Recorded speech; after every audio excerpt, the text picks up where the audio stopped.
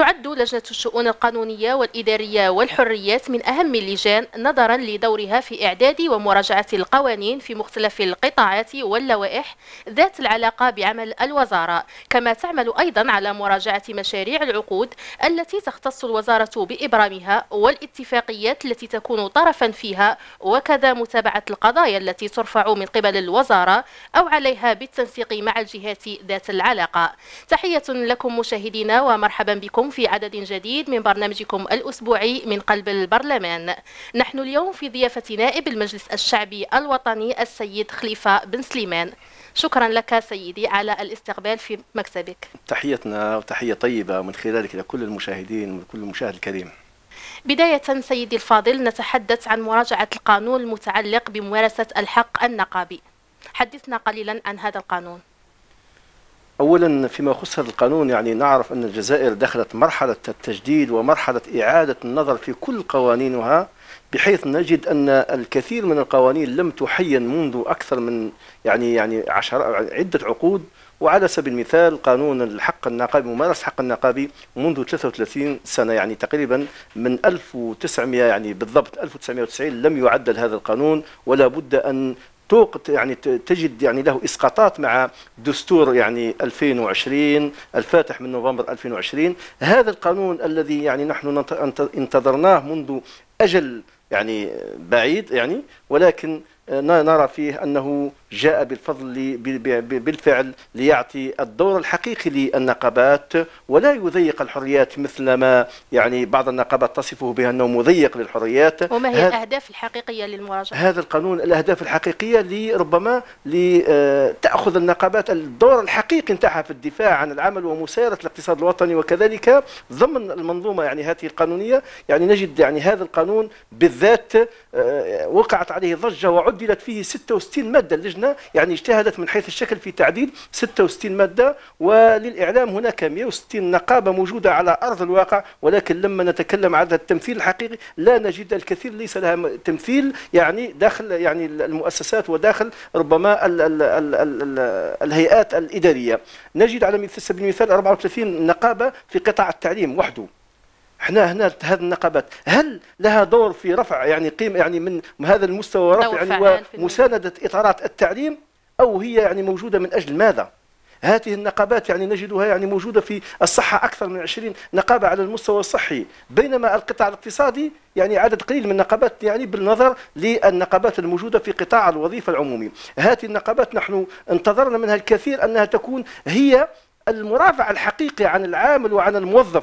نجدها اليوم أصبحت تساهم في خلق بعض الفتن في المؤسسات ونجدها اليوم لا بد من قانون يؤطرها مثل العهدات ولا تبقى مفتوحة. هناك الكثير من مسؤولي هذه النقابات بقي أكثر من 20 سنة على رأس هذه النقابة بدون يعني ربما الصفة حتى أنه خرج يعني راح للتقاعد ولكنه ما زال على رأس النقابة بأي صفة وبأي حق. ولكن بصراحة هل مطالب النقابات تؤخذ بعين الاعتبار على نعم أخذت بعين الاعتبار و يعني هم يتكلمون على العهدات لابد من تبقى لصلاحيات يعني ربما الجمعية العامة ولما ينتخب النقابي ف يعني تبقى العهدات مفتوحة. لكن بالنظر للدستور الجزائري نحن في البرلمان عندنا عهدتين رئيس الجمهورية عنده عهدتين رئيس النقابة الدولية يعني المنظمة الدولية عنده عهدتين عودتين يعني هذا أمر نحن لسنا بغرباء عن العالم. نحن طبقنا قانون التي أعطينا ربما الفرصة للآخرين كي يشرفوا على النقابات وربما للتشبيب وربما للطاقات يعني يعني بعث طاقات جديدة في العمل النقابي. لا تبقى منحصرة على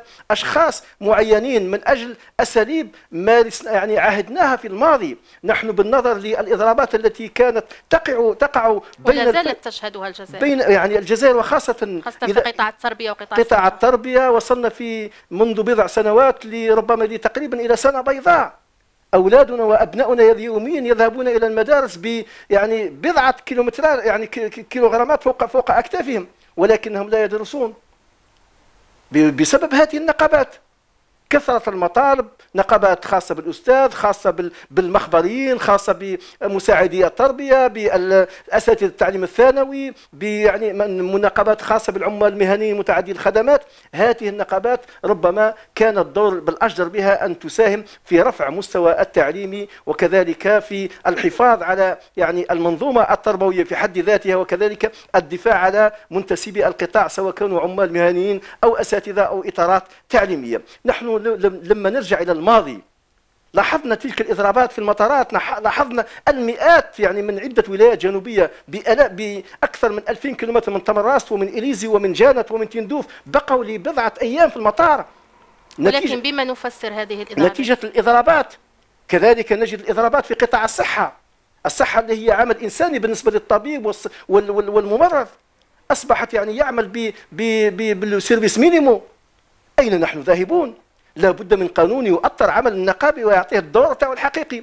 نجد القطارات في العاصمة يعني لأكثر من أسابيع وهي في حالة إضراب.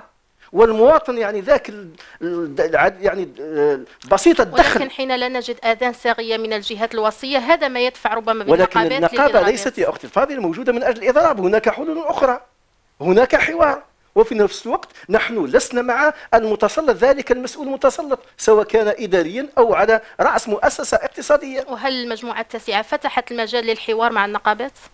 نعم نعم هذا القانون بالنظر للتقرير يعني لكلمة الوزير يعني يعني المشروع لما عرض من طرف الوزير قبل ساعة من من الآن تشرح يعني شرح شروح كبيرة وقال أنا مستعد أنني أجيب كل النواب على التساؤلات تاعهم. وقال أشركت الجميع ولكن مقرر اللجنة لجنة الصحة والعمل والضمان الاجتماعي يعني آه، أذكر حتى الأسماء اللي استدعاهم وتناقشوا معهم حول هذا القانون.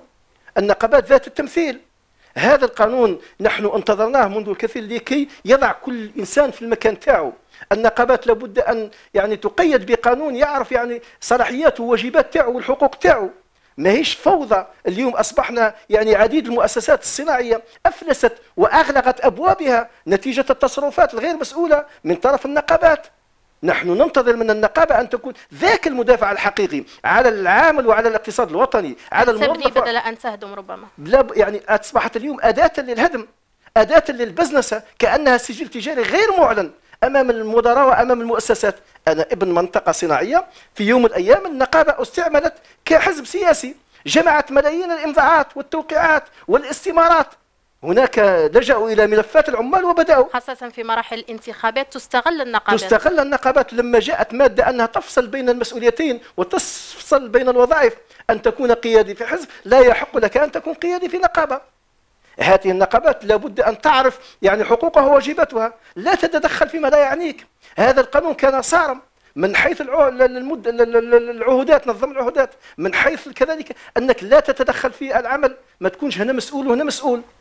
إحنا اليوم الحمد لله هذا القانون ونحن مع هذا التجديد وهذا يعني الثورة القانونية التي الجزائر منذ سنتين ومنذ انتخاب السيد رئيس الجمهورية السيد عبد المجيد تبون أعطى على عهده يعني قطع على نفسه عهد كبير أنه سوف يضع الجزائر في السكة الحقيقية سواء من جانب القانوني أو من جانب الاقتصادي. ونحن نرى أن الجزائر مقلعة في جميع الميادين وخاصة أننا استقبلنا في الدورة الأولى للبرلمان دورة 2021 2022 أكثر من 35% خاصة بالقوانين خاصة بربما شفنا آخر قانون اللي كانت فيه يعني آه، جدل كبير وقانون المضاربة. لكن اليوم كان القانون صارم والحمد لله يعني قدرنا نحاربوا تلك المافيا التي كانت تتلاعب بقوت الجزائريين. نرجع للقانون هذا نتاع النقابات. أختي الفاضلة آن الأوان أننا كل إنسان كل يعني ما هو مسؤول في الجزائر أو ما هو رئيس أو مرؤوس أن يخضع للقانون سواء كان نقابي أو غير نقابي. نحن ضد من هذه النقابات أو المنظمات أو الهيئات التي تنحاز عن الأهداف التي أنشئت من أجلها ولكنها تذهب إلى أهداف مسطرة في ذهنياتها من أجل خلق بعض الفوضى ومن خلق هناك الكثير من من المسؤولين المؤسسات الذين تناقشنا معهم قال لك باللي النقابة هي أداة أصبحت أداة معرقلة. أصبحت عشرة وربط كل مدير لي لافتة آه، المدير ما نحتاجوش المسؤول ما نحتاجوش آه، وتلقاها في المقابل تريد التوظيف بالمحاباة تريد كذلك البزنسة فيما يسمى بالمشاريع وطلبات الشراء تريد ليليت ولكن في نفس الوقت نحن نحن ضد ذاك المسؤول المتسلط كذلك الذي لا يعترف بحقوق العمال وحقوق الموظفين وحقوق الإطارات وكذلك لما نجد في بعض المؤسسات في المدن الصناعية والمدن الجنوبية شركات المناولة لحد الساعة ترفض أن تكون هناك نقابة بحيث نجد هذا الذي يتاجر بالبشر أقولها صراحة. هذا اللي نطلب من الدولة ووزارة العمل تتدخل في هذا المجال هذا. يتاجر بالبشر أنه يتقاضى على العامل مبلغ يفوت ل 150 ألف دينار جزائري. يعني يجب أن تكون رقابة مشددة رقابة مشددة وتكون نقابات أنها تدافع على هذه الفئة.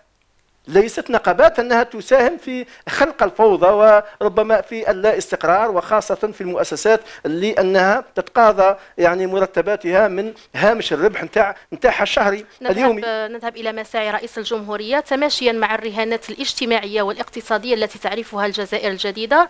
ما هي أهم الأحكام القانونية الجديدة التي جاء بها مشروع القانون النقابي؟ نشوف المشروع القانون يعني الأهم ما جاء به هو يعني وخاصة لما نتكلموا على العهدات تماشيا مع ربما مش حتى مع مع مع ما آلت إليه الجزائر في السنتين الماضيتين حتى مع الأعراف الدولية نجد في جل دول العالم أن هناك في جميع الهيئات والتنظيمات والمؤسسات السياسية والاقتصادية والسيادية أنها عهدتين فقط. لكن أنك نخليك مفتوح تبقى طول حياتك أنك نقابي وصحافي وفي الهلال الأحمر وفي الجمعيات ورئيس اتحاد رياضي. أين؟ إلى وين؟ وين؟ وين؟ يتقلدون عدة مناصب يتقلدون عدة مناصب. يعني هذا الشيء اللي اللي مرفوض جملة وتفصيلا. كذلك الأهم الأهداف أن ما عندك حتى تمثيل. الكثير من النقابات عنده ختم في المحفظة نتاعو ويمشي. ختم وانه مسؤول لعمال مسؤول لكذا. أنه يساهم في التعطيل ليس في التنمية في البناء. السيد رئيس الجمهورية لما يعني هذا القانون فات على مجلس الوزراء بالطبع يعني أي قانون يفوت ويصادق عليه السيد الرئيس ويجي للبرلمان حتى يناقش للجنة المختصة سواء كانت لجنة العمل أو اللجنة القانونية أو لجنة الصحة يعني أي قانون يروح للجنة المختصة حتى قانون الإعلام مؤخرا موجود عند لجنة الإعلام والاتصال يعني هذا يدرس ويحلل. كذلك يعني من ناحية أخرى هذا القانون لما نشوفه أنه تعدل في اللجنة من حيث الشكل ل 66 مادة تعدلت بما يتطابق مع متطلبات الطبقة الشغيلة ومع ما يطلبه تطلبه النقابات الفاعلة بحيث استقبلنا البارح مجموعة من النقابات هنا على في الكتلة هنايا وتناقشنا معهم وشفنا أهم الأمور اللي يطالبوا بتعديلها. نطالبوا يعني إحنا نقولوا صراحة قضية التمثيل 30% يعني يقول لك باللي لو كان ما غير يعني غير منطقية لابد أن تخفض إلى 15 اللجنة عدلت صبحت 25 لكن في تعديلات النواب ربما تصبح 15 أو 20 بذكرك للتعديلات ما هي فيما تتمثل التعديلات الشكلية والموضوعية وما هي أهم التعديلات التي مستها؟ آه، نعطيك مثال هذه قضية قضية التمثيل. التمثيل عدلت اللجنة كانت 30 عدلت إلى 25 وهذا التعديل صعب. هذه من أهم التعديلات اللي عدتها اللجنه أنها من من من من من 30 إلى 25 لكن نحن كنواب نطمح أنها تنخفض إلى 20 أو 15 حتى لا يصبح تضييق على الحريات والمادة 69 من الدستور. يعني أعطت للنقابات حق يعني أنها تكون يعني تعمل بكل حرية وبكل شفافية وبدون ضغوطات أو مثلا مسايرة من خارج آه، يعني الإطار تاعها. إحنا نشوفوا باللي الدستور الجزائري دستور 2020 الذي عدل في 2020 يعني لم يستثني أي شيء أعطى لكل حقا حقه ولكن تبقى هذه القانون القوانين التي يعني لابد أن يكون لها إسقاط مع الدستور أنها تساير أنها يعني تساير وأنها تنظم كل المجالات بما فيها مجال العمل والتشغيل هذا المجال اللي عنده علاقة يعني بشريحة واسعة في المجتمع وفي لدى المواطن. بالنسبة للمادة الخاصة بحق الإضراب والمادة الخاصة بفض النزاعات الجماعية التي تم رفضها من قبل النقابات العملية حدثنا أكثر عنها. والله بالنسبة لي أن أولا الإضراب الإضراب في حد ذاته حق لكن لابد أن يكون مؤطر إذا ما كان هي الأسباب التي إذا كان ساهم في إضراب من أجل التعطيل شل الاقتصاد الوطني أو تعطيل مؤسسه تعليمية. إحنا لحد الساعة أبنائنا لم يعني الكشوف نتاع النقاط تاعهم لم ما تناولهمش بسبب النقابات ليومنا هذا. هذه الإضرابات التي كانت في السابق تساهم في شل بعض المؤسسات وشل بعض القطاعات ذات الصلة المباشرة مع الحياة اليومية للمواطن لما نتكلم على قطاع إضراب في قطاع الصحة. بأي حق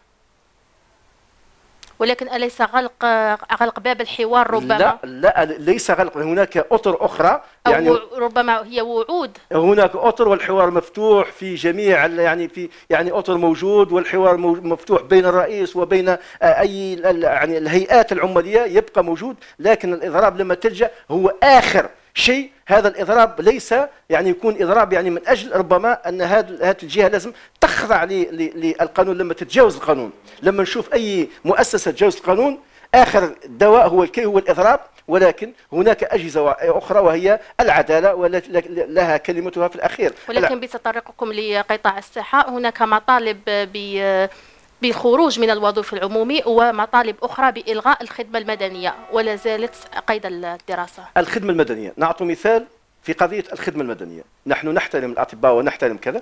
يعني كذلك نحن في بعض الولايات الموجودة على مستوى الوطني يعني هناك وين غير متوفرة يعني كليات للطب وغير جامعة يعني الجامعة يعني الموجودة في يعني داخل الجامعات.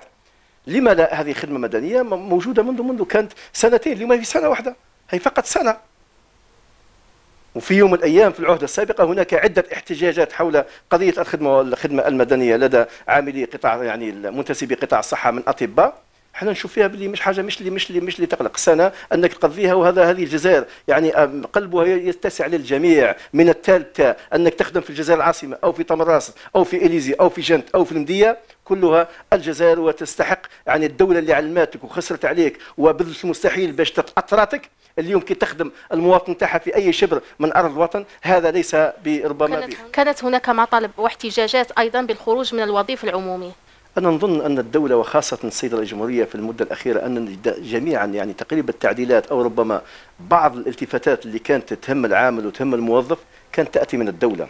عمرنا ما سمعنا باللي نقابة ساهمت ولكن كانت تأتي من الدولة ونشوف مؤخرا السيد رئيس الجمهوريه عدل حتى نظام الأجر القاعدي للموظفين وللعاملين في على مستوى جميع القطاعات. نشوف يعني هناك يعني بين الفينة والأخرى تتدخل الدولة يعني هي التي تساهم وتبادر يعني بالنسبة لحقوق العمل. والجزائر يعني ضمن المعاهدة 87 تلتزم بالاتفاقيات الدولية وتلتزم بكل ما يفيد العامل والجزائر لم تخرج في يوم من الأيام عن نطاق المعاهدات الدولية والاتفاقيات التي وقعتها وتحترم ما وقعت عليه. ونجد يعني كما أسلفت أن الدولة دائما تساهم في رفع الأجور والسيدة الجمهورية يعني منذ قليل ربما يعني أيام قلائل قال هناك رفع ثاني للأجور ليتناسب يتناسب مع يعني متطلبات الجزائريين ومع رفع من القدرة الشرائية لأن ربما نشوفه بالنظر للغلاء اللي يعرفه العالم وبالنظر لارتفاع الأسعار على المستوى العالمي والتذبذب في السنتين الماضيتين نتيجة عدة ظروف من بينها كوفيد يعني الكوفيد كورونا. وجائحة الكوفيد وكذلك الحرب, الحرب الموجودة في أوكرانيا. أوكرانيا يعني يعني في بعض المواد اللي مسها مستها الندرة نجد بعض الغلاء وهذا الشيء اللي الجزائر يعني كل ما شافت أن هناك يعني مساسا بالقدرة الشرعية تتدخل والشكر موصول للسيد رئيس الجمهورية لما رفع يعني لما أنشأ منحة البطالة ورفع من قيمة تاعها وكذلك أيضا. منحة التقاعد. كل هذه يرفع من القدرة الشرعية ويحافظ على الاستقرار الاجتماعي الذي نطمح إليه كنواب وكمواطنين. دائما يعني حتى مشروع قانون المالية 2023 أتى بالخير. أتى بالخير ونعتبره أكبر ميزانية من الاستقلال يعني 98 مليار دولار ما يقدر يقدر ب 130 ألف مليار دينار. هذا الشيء كبير أنه يصرف في سنة 2023 يعود بالفائدة وكذلك سنة 2023 مثل ما وعد السيد رئيس الجمهورية تكون سنة إقلاع اقتصادي وسنة استثمار. لما إن شاء الله نشوفوا باللي بذكركم للاستثمار ماذا عن مراجعة قانون الاستثمار والقانون الذي يحكم العلاقات المهنية؟ أولا القانون الاستثمار يعني جل جل البرلمان وكنا نطمح هذا القانون أنه يضع الجزائر في السكة الاقتصادية بالنظر للخيارات اللي موجودة في الجزائر. الجزائر يعني لا يخفى على أحد 2.8 كيلومتر مربع الشيء هذا المناخ المتعدد هذا الثروة اللي موجودة في كل مكان يعني نقدر أنك تستثمر فلاحيا صناعيا. لا نتكلم على البترول لا نتكلم على المناجم لا نتكلم على ما هو موجود داخل. لكن هناك ثروات حتى في الجانب الخدماتي. هذا الاستثمار لما طلبنا باش يكون قانون قانون جاء. اليوم ننتظر النصوص التنظيمية وننتظر قانون العرض يعني والنقد. هذا القانون يعني اللي كذلك يدخل في هذه الصيغة يعني في هذا في في قضية الاستثمار. نتمنى إن شاء الله تكون 2023 سنة إقلاع اقتصادي حقيقي وتعود بالخير على الجزائر. وكل ما لاحظناه في هذه السنتين لا يخفى على أحد بأن الجزائر في ظرف سنتين قدرت أنها تعيد جميع قوانينها. هذا البرلمان منتخب في ظل قانون عضوي جديد. بعد الدستور نتاع 2021 يعني قدرنا نلاحظوا باللي جميع الهيئات التي ربما مسها التعديل الدستوري يعني تقدرنا نكيفوها مع الدستور في ظرف قياسي واليوم الحمد لله الحمد لله الجزائر بعد الحراك المبارك قدرت انها أنها آه، توضع فوق السكة والحمد لله صحيح. بفضل وجود واستقرار المؤسسات وبفضل النية الصادقة والإرادة السياسية المتوفرة لدى السيد رئيس الجمهورية بالنظر للعهود التي قطعها ال 54 اللي قطعها على على نفسه بأنه ونشوف فيه جسد فيها اليوم قبل قبل يعني الواحدة تلو الأخرى خدمة للجزائر وخدمة للجزائريين وكذلك النجاحات اللي عرفتها الجزائر مؤخرا فيما يتعلق بالقمة العربية فيما يتعلق بمنظمات الاتحادات البرلمانية الإسلامية فيما يتعلق بتنظيم الشان فيما يتعلق يعني هناك عدة إنجازات يعني عرفناها لم نعرفها سابقا. الحمد لله هذا يدل على عاد بالجزائر في الواجهة. نعم الواجهة كذلك الدولية الواجهة الدبلوماسية كلمة الجزائر تحرر موقف الجزائر. الجزائر مع القضايا العادلة وخاصة القضية المحورية القضية الأم دائما لموقف الجزائر المتميز مع القضية الفلسطينية ونشوف باللي رئيس الجمهورية دائما يتكلم عليها بكل شجاعة وهذا هو موقف الجزائريين. الجزائر اللي عنده النخوة وعنده النيف وعنده كذا لا يرضى بأن يبقى أي شعب مكيد في العالم وغير محرر الجزائر مع القضية الصحراوية. نحن يعني عانينا يعني ويلات الموقف تاعنا مع بعض القضايا لكن يبقى دائما موقفنا نفتخر به قيادة وشعبا ونقول لسيد رئيس جمهورية من خلاله إلى كل الخيرين في هذا الوطن هذا أننا سائرون نحو يعني ومساندة هذه الإصلاحات ونلتزم بها التزاما لتطبيقها في أرض الواقع من خلال البرلمان بسن جميع القوانين التي تتكيف مع الدستور وتتكيف مع الساحة الوطنية سواء كانت اقتصاديا أو اجتماعيا أو سياسيا ما رأيكم في عدم الخلط والفصل بين الممارسة النقابية والأحزاب السياسية؟ هذه كانت في السابق لقد تكلمت على جمع التوقيعات 6 مليون توقيع تعرفونها والجميع والشعب الجزائري يعرفوها. 6 مليون توقيع من العمال ومن الموظفين ومن الإطارات عنوة ورغما بطرق أساليب ملتوية. هذه النقابات لما تحشر نفسها في العمل السياسي؟ السياسة للأحزاب للسياسيين. ليست للنقابات النقابة مهمتها العمل والدفاع عن العمل والحفاظ على المؤسسة وحفاظ على على الهيئات والاستقرار داخل داخل الهيئات. لا العمل السياسي السياسي يعني هذا يعني هذا ما أتى من ايجابيه هذا القانون أنه يفصل بين العمل السياسي والعمل النقابي ومن كان قياديا ليست على البسطاء من كان قياديا في النقابة أو في منظمة سياسية حزب سياسي لابد أن يختار يا إما أن تكون سياسي أو تكون نقابي. وكذلك اشترطت على على النقابيين وعلى قيادة المنظمات النقابية أن تكون ذو مستوى وتكون كذلك يعني في التكوين يعني يكون عندك يعني مستوى تكويني يأهلك باش تقود هذه النقابة. وماذا عن حقيقة الشفافية في المنظمات النقابية؟ الشفافية كل ما إحنا شو نقول لك؟ نهضروا على الشفافية في أي مجال؟ في أي مجال؟ كل شيء موجود فوق الطابلة يعتبر شفاف. الممارسات اللي كان التي كانت في السابقة تحت الطاولات الآن الشعب الجزائري يرفضها.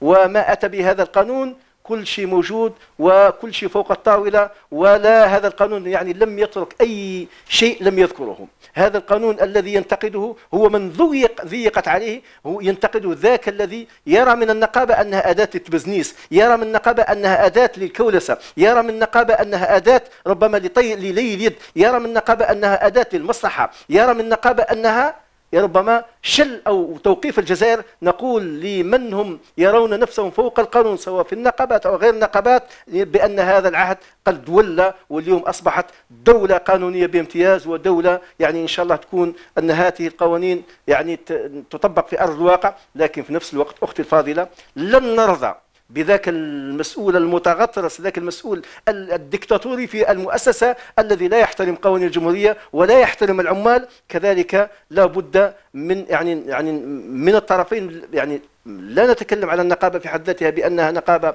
ربما تلجأ إلى أساليب غير قانونية ولكن في نفس الوقت لا هناك بعض العمال المسرحون والذي نجد أنهم بالعدالة رجعوا إلى مناصبهم لكن بعض المؤسسات وبعض آه، مسير المؤسسات يرفضون إرجاعهم إلى عملهم. هنا لابد من يعني إعادة النظر في هذه الأمور. ما مدى أهمية دور المرأة والشباب في مختلف المنظمات النقابية؟ والله أولا إحنا نقولوا لارولاف الإستمرارية. المرأة والشباب وخاصة لما نشوف باللي السواد الأعظم للشعب الجزائري هم شباب. السواد الأعظم للتركيبة المجتمع الجزائري هم شباب. هنا لابد من إشراك هذه الفئات. والحمد لله الدستور أتى ب يعني وخاصة بالمجلس الأعلى للشباب ويعني طالب بإشراك هذه الفئات وربما حتى في الانتخابات اشتراط ما هو أقل من من من من من 25 سنة يكون يعني أقل من 40 سنة يكون يعني شباب في على مستوى حتى على البرلمان يوجد. يعني هناك يعني آه، فئة كبيرة من الشباب. هذا هذه هذه الأمور نحن نزكيها ونؤيدها وخاصة أن نشرك المرأة في جميع المجالات بالطرق الديمقراطية والطرق الشفافة وكذا كذلك ماهيش بين الفين بين عشية وضحاها. نقدر نقلب ذهنية الجزائري وعقلية الجزائري خاصة في بعض المناطق في بعض المناطق النائية ذات التقاليد وذات الأعراف المعروفة. يعني مش بسهولة باش تخرج المرأة أنها تسير أو إحنا نجدها في المناطق الحضارية وفي المدن الكبرى مثل العاصمة ومثل الولايات الكبرى أن تجد المرأة أصبحت لها دور كبير سواء على مستوى النقابة أو على مستوى المجتمع المجتمع المدني أو على مستوى ربما الهيئات يعني جميع الهيئات أن تكون المرأة ممثلة. يعني وهذا الشيء أننا نرحب به وما لابد أن تأخذ حقها وما أعطاها لها الدستور. فيما تتمثل شروط المنخرطين في المنظمات النقابية. شروط المنخرطين في أنك تكون يعني سهلة. سهلة الوزير سهلها. النشر القانون سهلها. أنه رقم الضمان الاجتماعي تاعك فقط في تلك المؤسسة. رقم الضمان تاعك و البطاقة تاعك تاع الانخراط. هنا دار منصة خاصة بإحصاء عدد المنخرطين وهنا اللي عرفوا باللي مستوى النقابات والتمثيل تاعها عن طريق هذه المنصة وهذا يعني اللي عرفوا كل نقابة وش وش عندها وش حال تمثل. هذا الشيء اللي يعني شيء يعني شيء شيء شي سهل مش وما رأيكم في تحديد مدة أعضاء المجلس النقابي لثلاث سنوات قابلة للتجديد مرة واحدة؟ مدة أعضاء المجلس النقابي ثلاث سنوات قابلة للتجديد. مرة ربما واحدة. اللجنة يعني آه، آه، عدلت. ويعني التعديل اللي كان داخل اللجنة لحقت حتى خمس سنوات. خمس سنوات لعهدتين. خمس سنوات لعهدتين أن يعني تكون هناك يعني المجلس التنفيذي للنقابة. هذا وش وش نقصد بها؟ تكون هناك خمس سنوات لعهدتين. وهذا شيء إيجابي. ومن ثم أترك المجال لأشخاص آخرين أترك المجال لكفاءات أخرى أترك المجال من أجل يعني الكل يتقلد والكل يسير وكذلك دفع يعني روح جديدة داخل النقابة بطاقات جديدة وبهياكل جديدة لكي ترفع من مستوى التمثيل. ضخ دم جديد ربما. يعطيك الصحة. النائب خليفة بن سليمان الدائرة الانتخابية الأغواط. ولاية غنية بإنتاج الغاز الطبيعي الذي تمون به أوروبا والتي تساهم به ثلث الاقتصاد الوطني تقريبا. ومع ذلك يعرف قطاع التشغيل. أقول توترا في المناطق الصناعية. في رأيكم سيدي ما هي الأسباب؟ تعرف المناطق الصناعية توتر كبير من حيث سوق الشغل وكذلك هذه المناطق. للآن ما زلت أشكك في نظام الوسيط هذا النظام الذي من المفروض أنه يضفي الشفافية في عملية في تنظيم سوق الشغل وفي عملية يعني ربما آه، آه، توجيه طالبي العمل للمؤسسات عن طريق الوسيط التي تستعمله الوكالة الوطنية للتشغيل. هذا النظام الذي يعني كان يرجى منه أنه يكون يضفي الشفافية ويرجع الثقة بين الإدارة بين هذه الوكالة وبين طالبي العمل. لكن لحد الساعة طالب العمل في الجنوب وفي المناطق الصناعية ما زال يشكك في هذا النظام نظام الوسيط. وكذلك شيء آخر هو لما نجد مثلا المؤسسات التابعة لمؤسسة سوناطراك هي كثيرة يعني. نهضروا على ال ENSP ال GCB GTP ال ENTP l'ENAFOR SARPI لكن لما نجد عامل في مؤسسة ال ENTP و l'ENAFOR و SARPI ومثلا قال ال ENSP يتقاضى عامل يومي يتقاضى لأكثر من 80 ألف ونجد عامل في نفس المؤسسة التابعة لسوناتراك يتقاضى 40 ألف 30 ألف ونجد عمال البلدية يتقاضون 22 ألف إلى 30 ألف. هذا ليست عدالة في نفس المناخ. ونفس الصعوبة المناخية اليومية من الحر ومن الظروف الطبيعية. في نفس المكان نجد هناك فوارق يعني في في قضية ربما الأجرة وفي قضية ربما الامتيازات للعمال. هذا ما يخلق نوع من الفوضى كذلك قضية المناولة. نجد مؤسسات تعمل بالمناولة مؤسسات يعني سترتي عمال إلى آه، هيئات أخرى ومن بعد يعاودوا يجيبوهم. يعني ينقصوا من من من, من الأجرة نتاعهم كي شغل بيعا. ولكن ربما سكان المنطقة يظنون أنهم أولى بالعمل في المناطق الصناعية. القانون وخاصة التعليم نتاع 2013 التي تعطي الأولوية بالفعل للوزير الأول أنذاك لسكان المنطقة باستثناء ربما بعض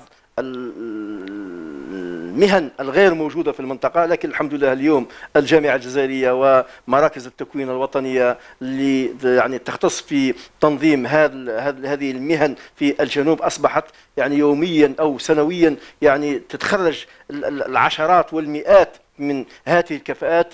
نجد نحن أبناؤنا محرومين من من هذه المناصب وما زالت المحاباة ليومنا هذا. نطلب تكون هناك الصرامة وخاصة على مسيري بعض المؤسسات في التوظيف المباشر من وراء من وراء القانون نطلب تطبيق القانون ليس إلا. وهو واجبكم أيضا بصفتكم ممثلين عن نعم نحن في عدة أسئلة وجهناهم وجهنا إلى وزير العمل أنني في خمس أسئلة موجهة لوزير العمل حول بعض الشروط تضعها بعض المؤسسات في الخبرة المهنية. لما تأتي بسائق وتقول له أعطيني عشر سنوات خبرة هذا ليس بالمعقول. وما كانت ردود الوزير؟ كانت هناك قال لك لم يعني هذه تدخلنا في عدة يعني مناسبات حول هذه الشروط التعجيزية. كذلك مؤسسة تراك تجد تضع شرط 35 سنة سنة. دير لك عرض عمل ودير لك شرط لتحت. لابد أن هي شروط تعجيزية تعجيزية وبينما القانون والتشريع الوطني والدولي ليس هناك أي بند يحدد السن هذه تجاوزات فوق القانون. إحنا طرحنا هذه الأسئلة على وزير العمل وكان بدوره سي يوسف شرف الحالي والوزراء السابقين كلهم فندوا وقالوا أن ليست هناك يعني قوانين أنها تشترط السن وهذه الشروط التعجيزية نقضي عليها لكن يبقى دائما سكان الجنوب والقاطني المناطق الصناعية يجدون في أنفسهم أنهم محرومون بسبة بعض الممارسات وبعض الطرق الملتوية في الوصول إلى المؤسسات. يعني نطلب شفافية أكثر نطلب ديمقراطية أكثر نطلب أننا من والنظر أكثر من الدولة أن تكون هناك رقابة على هذا القطاع لكي تستقر هذه المناطق لأن استقرار المناطق الصناعية هو استقرار الاقتصاد الوطني. بما أن مثلا بلدية حصر اللي أنتمي إليها أن هذه البلدية اللي تصنع ميزانية الدولة صناعية. الجزائرية مدينة الغاز نجد الكثير الكثير الكثير لا يستفيدون من مناصب العمل بسبب يعني ربما تضخيم المسجلين لدى الوكالات الوطنية الوكالة الوطنية للتشغيل بحيث إحنا نجد عندنا بطاقة الناخب يسجل بها بينما الدستور أعطى لبطاقة الناخب هو حق الانتخاب وليس نطلب من الدولة ونطلب من وزارة العمل ووزير الداخلية أنهم يرجعون للإحصاء الأخير للسكن والسكان في كل المناطق الصناعية. ما هو موجود في المنطقة عنده الحق والأولوية. ولما تكون هناك فائض ماذا بين كل الجزائريين وكل البلديات نتاع الولاية وكذلك إذا كان ما كانش. تروح حتى الولايات الاخرى ولما لا لأن الجزائر هي للجميع وهذه المؤسسات وهذا هذا البترول هو ملك لكل الجزائري لكل الجزائريين. تتوفر ولاية الأغواط على كلية الطب وهذا أمر جيد بطبيعة الحال مما يوفر للطلبة عناء التنقل من بين الولايات. ولكن لماذا لا يكون في المقابل مركز استشفائي جامعي؟ نحن نجد أن جميع المستشفى يعني المراكز الاستشفائية الجامعية موجودة في مدن ما في الساحل غالبية تحت في الساحل. نجد تنقل يعني المواطن تاع المناطق الصحراوية والجنوبية إلى الجزائر العاصمة من أجل الاستشفاء ومن أجل الطب. طلبنا في العديد من المرات من كل الوزراء السابقين لما لا يكون المستشفى مستشفى الاغواط مستشفى جامعي. أنتم تشترطون كلية الطب نحن عندنا كلية الطب وهذه التذكير هناك دفعتين تخرجت من هذه الكلية. كذلك تشترطون المعهد الوطني للشبه الطبي موجود. اليوم كل المرافق. هناك مستشفى عنده عامين من اللي من اللي ثلاث سنين من اللي فتح هو جديد 240 سرير وعندنا مستشفى قديم 240 سرير وهناك هياكل صحية موجودة بكل من آفلو وقصر الحيران وحسرمل لما لا تستفيد ولاية الأغواط وتكون أنها بوابة يعني تكون في مفترق ال وسط الجزائر يعني الأغواط هي بوابة للصحراء. لما لا يكون مستشفى جامعي؟ بحيث يستقبل جميع من يطالب يطلبون العلاج في المدن الشمالية يبقوا في الأغواط إحنا لم نطلب المستحيل. الوزير السابق سمحه الله سامحه الله أعطى كان دشن المستشفى وقال عندكم مستشفى جامعي. لكن يبقى مجرد كلام ومجرد مراوغات سياسية وطرحت عليه السؤال في البرلمان عدة مرات حتى في العهدة السابقة تابعت هذا المستشفى هذا لكن إلى يومنا هذا نطالب. وهل أعدتم طرح السؤال على السيد الوزير عبد الحق ساحي؟ نعم. هل أعدتم طرح السؤال؟ أعدنا طرح السؤال وكذلك عندي سؤال الخميس القادم حول آه، مستشفى الكاك اللي هو مجهز بأحدث الأجهزة يبقى فقط المسرعات. ونعرف إحنا مرضى السرطان ربي يشفيهم. هم بالكثير يعني في الآونة الأخيرة لعدة أسباب على المستوى الوطني لكن تعطل المسرعات يعني رغم أن رئيس الجمهورية والوزير الأول كان شدد بال... بأخذ عين اعتبار مرضى السرطان. مرضى السرطان وطلب أنها خاصة في بيان سياسة حتى في جلب الأجهزة يعني هذه المسرعات. تعهد الوزير الأول أثناء رده في بيان السياسة العامة أن المسرعات يكونوا قبل نهاية العام 2022 لكن إلى يومنا هذا المسرعات يعني ما جاوش وقال باللي نجيبوا 29 يعني مسرع خاص بمستشفيات السرطان لكن إلى يومنا هذا ولكن إلى متى يبقى مريض السرطان المسرع المسرعات لم تأتي ونجهل حتى التاريخ. اليوم الوزير راح يجيني الخميس الجاي يجاوبني على وقتاش تفتح مستشفى السرطان هذا المستشفى أنا قلت تحفة معمارية ومجهز. حتى الجانب البشري يعني موجه ليه كل شيء يعني يستعد الا يتسنى إلا البصمة هذه المسرعات. ولكن يبقى يبقى يعني آه، في خدمة مرضى السرطان سواء كانوا من ولاية الأغواط أو خارج الأغواط هذه الفئة التي نعرفها وتتنقل يوميا. كان هناك أخذ يعني آه، des rendez-vous لمدة سنة باش باش باش باش يعالج. ب la chimiothérapie رغم أن مريض السرطان هو يتسابق مع الوقت. يتسابق مع الوقت وكذلك مريض السرطان يجد نفسه أنه يتنقل لآلاف الكيلومترات من أجل البحث عن يعني هذا الطب الأشعة ال radiothérapie إحنا نتمنى إن شاء الله من الدولة نتاعنا إنها تدارك نفسها وإنها في القريب العاجل أنها تفتح هذه المستشفيات وكذلك في القريب العاجل يعني مرسوم المستشفى الجامعي نتاع ولاية الأغواط الدولة تتكلم على مستشفيات بمعايير دولية ومع شراكه مع عدة دول مثلا شراكه مع قطر في منطقة زيرالدا نحن لسنا ضد. هذه إضافة إضافة صحية إضافة لهذه المناطق. لكن تناست أن هناك مرافق جاهزة تنتظر أنها تفتح وأنها تجسد وأنها توضع حيز خدمة خدمة للمرضى وخدمة لبعض المناطق وبعض الطبقات التي يصعب عليها حتى التنقل. يا أختي الفاضلة التنقل في الطائرة من تمراس إلى الجزائر العاصمة؟ أكثر من التنقل إلى دولة تونس وإلى فرنسا. الخطوط الجوية الداخلية أغلى حتى من الخطوط الخارجية. يعني عديمية الدخل والطبقات البسيطة. ما مش قادرين حتى باش يتنقلوا. وما أدراك المرضى. إحنا نتمنى تكون هناك عدالة صحية في المرافق. إحنا ثقتنا كبيرة في الدولة تاعنا وثقتنا كبيرة في رئيس الجمهورية. كذلك ماذا بنا يؤخذ بعين الاعتبار هذه التنقلات وهذا العناء لدى المرضى من الجنوب. هم يأتون هنا بالأسابيع.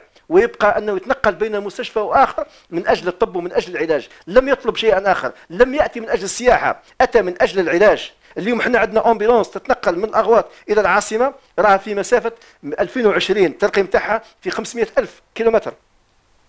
بسبب أدنى شيء بسيط تجي العاصمة.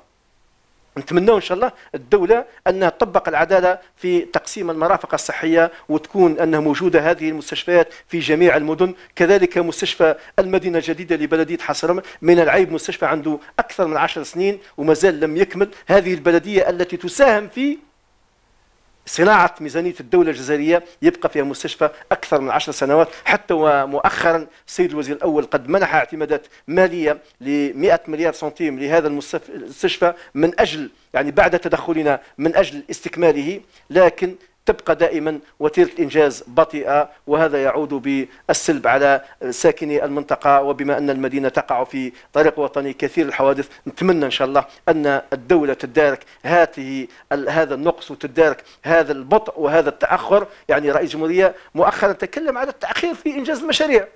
من العيب أن نتكلم على يعني يعني في في عدة مجالات ليست حتى في المجال الصحي. مشروع اللي يبقى 10 سنوات عيب هذا الشيء. مستحيل. مدينة سيدي عبد الله قال في أربع سنوات كانت جاهزة بكل المرافق تاعها. اليوم نتكلم على خط سكة حديدية ل 100 كيلومتر يبقى خمس سنوات. هذا غير منطقي. إشراك الخبرة الأجنبية. إحنا أصبحنا يعني نشوفوا باللي آه، أمور ولات سلبية في الساحة الوطنية بسبب بعض الممارسات. أظنها ما زالت من الحقبة الماضية. هناك أداة للتعقيل هناك أداة لوقوف ضد يعني سياسة اتخاذ يعني مقاومه مقاومة التغيير.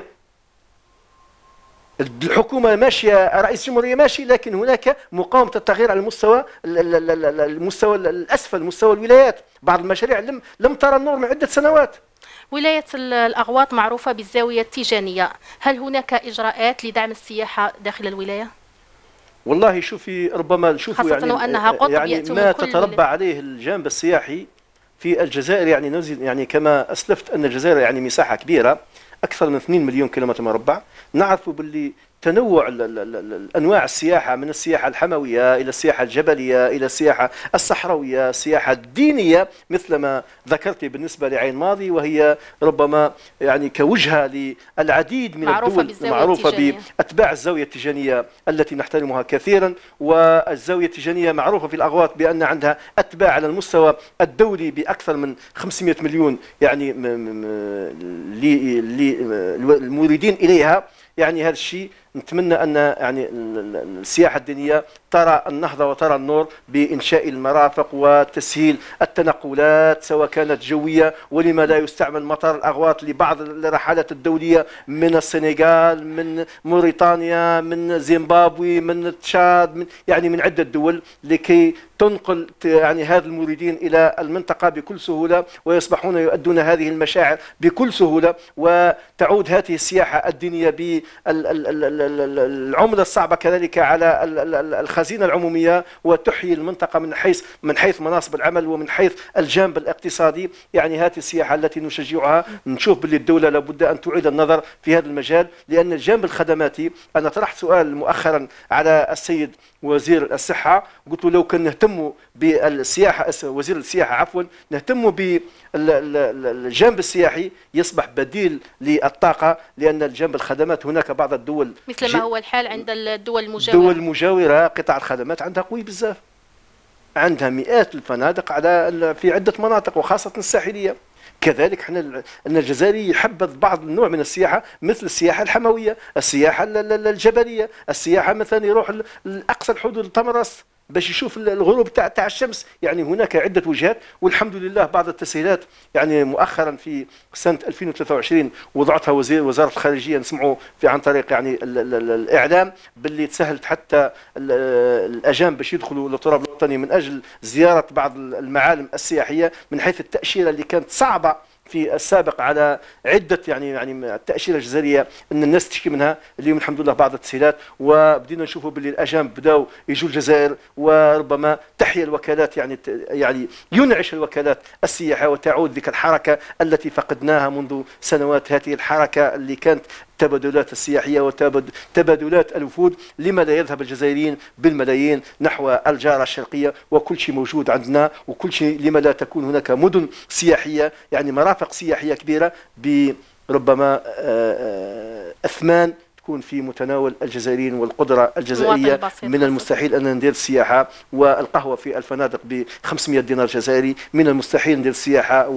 والقارورة من الماء ب 200 دينار جزائري من المستحيل ندير السياحة والوجبة نتاع الأكل تاع العشاء ب 5000 دينار جزائري. هذه الأسعار في غير غير مقبولة ولا ترفع من السياحة في الجزائر لأن السياحة لا بد من تسهيل الجانب الخدمات وكذلك تتناسب مع قدرات الجزائريين لأنك باش تروح لتمرست ب 25 ألف دينار جزائري للتذكرة إذا عندك عائلة من خمسة وتزيد لازمك لازمك شهرية عندك يعني ميزانية تاع سنة باش تروح هذا ما يجعل بالجزائري اختيار أن يسافر إلى دول أو بلدان مجاورة بدل السياحة داخل بدل السياحة الداخلية وهذه ربما آن الأوان أننا نعيد النظر في السياحة في السياسة اللي خاصة بالسياحة وبعث السياحة من جديد بقوانين جديدة وبآليات جديدة وبميكانيزمات جديدة وبأفكار جديدة, جديدة. ولما لا إشراك الخبرات الأجنبية. نشوفوا في دول على ضفة البحر الأبيض المتوسط مثل آه، مصر ومثل آه، الجارة الشرقية وعدة دول. لا نتكلم على الدول الأوروبية نتكلم عن من هم عرب. يعني الجانب السياحي يعرف أن يعني يعني نوع من التقدم وعرف نوع من القفزة عندهم إلى ربما عاد ينافس حتى الدول البترولية مثل الجزائر. هنا لو كان الجزائر تستغل الثروات السياحية اللي موجودة عندها روحوا بعيد. بالنظر لتعدد المناخ الجزائري بالنظر للتقاليد الموجودة في الجزائر بالنظر لمساحة الجزائر بالنظر للشيء اللي موجود في بلادنا. شيء كبير في بلادنا ينتظر مثلما السيدة الجمهورية فتح ورشات في جميع المجالات. نتمنى كذلك السياحة أنها تأخذ ذاك القسط وتأخذ الوقت الدولة أنها تلتفت إليها وتنعش هذا الاقتصاد من أجل خلق مناصب عمل ومن أجل إنعاش الاقتصاد الوطني ومن أجل كذلك راحة الجزائري ومن أجل ربما الجزائري باش يتنقل لمئات ولا آلاف الكيلومترات إلى بعض الدول يبقى في بلاده ودراهمه يأكلها في بلاده وبلادنا الحمد لله بخير عليها والحمد لله بفضل هذه السياسة اللي عرفناها في السنتين الماضيتين اللي رجعت الأمل للجزائر رجعت قيمة الجزائر رجعت يعني نخوة الجزائري رجعت له ذاك النيف اللي كان عنده ورجعت له أنه ما يهبطش راسه. والجزائري عمره تعرفوه باللي يقول لك باللي الجزائري خشين. بالفعل نحن ماناش من ذوك يعني على سالف أجدادنا أجدادنا بالأمس خرجوا الحلف الأطلسي بالصرامة وبالجهاد. بالأمس حتى واحد ما دار فينا مزية وأعطانا استقلالنا بفضل آبائنا وبفضل بسالة أجدادنا. اليوم كذلك نحن من يعني من صلب الأجداد ومن صلب إخواننا. إحنا نتمنى إن شاء الله أن الجزائر تعني تحكم القاطره نتاعها ولهذا ليس بالمستحيل اليوم اصبحنا الحمد لله يا ربي نقولها بصراحة أن الجزائر قدرت أنها تتخطى تتخطى مرحلة الخطر بفضل السياسة الرشيده وبفضل الإرادة السياسية الموجودة لدى السيد رئيس الجمهورية وكل مؤسسات الدولة وعلى رأسها الجيش الوطني الشعبي. كلمة ختامية. كلمة ختامية أختي ربما الأمل موجود والحمد لله. ربما نشوفه نرجع إلى 22 فبراير 2019 لما خرج الشعب الجزائري مطالبا الحراك الشعبي. بالحراك الشعبي مطالبا بإعادة كرامته مطالبا بتطبيق القلق مطالبا بالتغيير الجذري في جميع المستويات. الحمد لله بعد أقل من سنتين قطعنا شوط تقريبا 50% في إعادة هذه الثقة للشعب الجزائري. هذا ما أفرزته انتخابات ديسمبر 2019 بتعلي يعني بوصول سيد رئيس الجمهورية السيد عبد المجيد تبون إلى سدة الحكم والعهود التي قطعها على نفسه. نقول لهذا الشخص أننا موج... لهذا الرجل أننا مساندين ومداعمين لبرنامجك ونلتزم به وما نطلب ولا شيء إلا استقرار الجزائر وازدهار الجزائر بفضل سواعد أبنائها. النائب خليفة بن سليمان شكرا لك مرة أخرى على الاستقبال. الله يجزيك. شكرا أختي شكرا. تحياتنا حتى أنتم مشكورين. العفو. إلى هنا وصلنا مشاهدينا وإياكم لنهاية عدد اليوم من برنامجكم الأسبوعي من قلب البرلمان. نلتقي الأسبوع القادم إن شاء الله. إلى اللقاء.